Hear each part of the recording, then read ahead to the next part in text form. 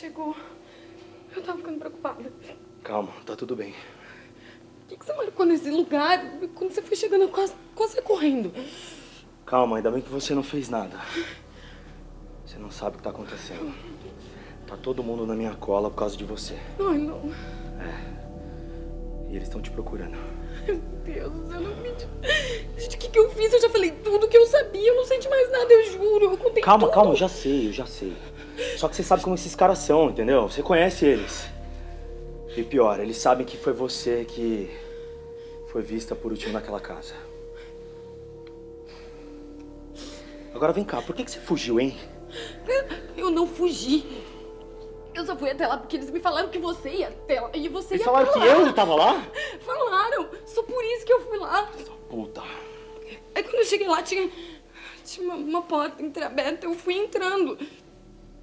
Aí eu, eu escutei uma música horrível tocando, uma luz colorida piscando. Eu achei tudo muito estranho. Eu peguei e entrei. Tá, daí e aí? Você entrou e que mais? Aí eu entrei. Eu achei que tinha acontecido alguma coisa. Foi quando eu vi umas garrafas no chão, uns cacos de vidro, assim, e eu vi um rastro de sangue. Eu fiquei apavorada porque eu achei que tinha acontecido alguma coisa com você. Eu entrei em pânico, meu corpo começou a tremer e eu fiquei suando frio. Só de pensar que podia ter acontecido alguma coisa contigo. Aí eu criei coragem e fui lá ver o que que era. Um corpo no chão, todo ensanguentado, morto. Eu fiquei apavorada. Calma, shh. Tá tudo bem, calma. Tudo bem.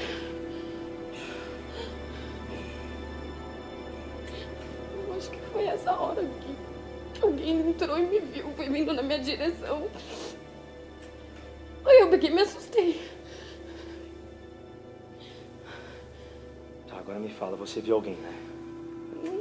Você viu alguém que eu sei. Não, eu não vi, não dava pra ver nada, não tinha luz lá. A única luz que tinha era aquela maldita luz piscando.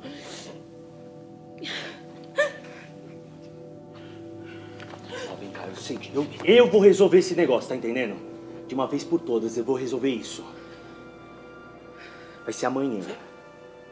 Quatro e meia. Quatro e meia. Você tá ouvindo? Quatro e meia vai passar um carro na tua casa. Você desce e não pega nada.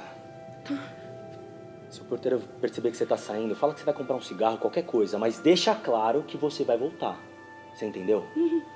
Chegou no portão, você olha pros dois lados, sai pra direita, vai tranquila. Pegou a primeira direita na esquina, corre, mete o pé, vai ter um carro no final da rua, um carro preto.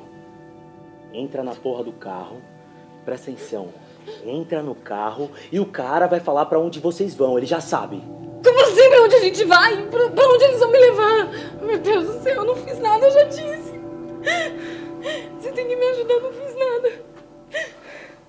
Se- José, a gente pode denunciar eles pra polícia. Você tá louca? Você tá louca? Que polícia, caralho? Ó, presta atenção, me escuta. Você vai fazer do jeitinho que eu te falei, você tá entendendo? Ó, eu vou colocar o meu celular aqui no bolso, tá? Esse celular aqui é só seu, ninguém tem. Tá o telefone do cara que quando você chegar lá, você vai precisar falar com ele. E eu vou te ligar do número restrito. Me atende, tá? Me atende que eu vou te ligar do número restrito. Presta atenção. Você tá entendendo? Não é pra fazer nada de diferente disso. Você ouviu? Você vai precisar confiar em mim. Você confia em mim? Você confia em mim, caralho?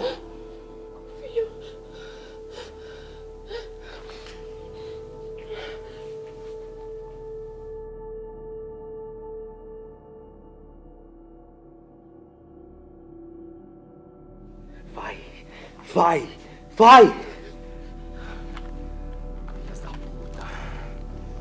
Ah, eu vou matar cada um desses cara. Nem que eu vá até o inferno e volte. Ninguém pega a minha garota, filha puta!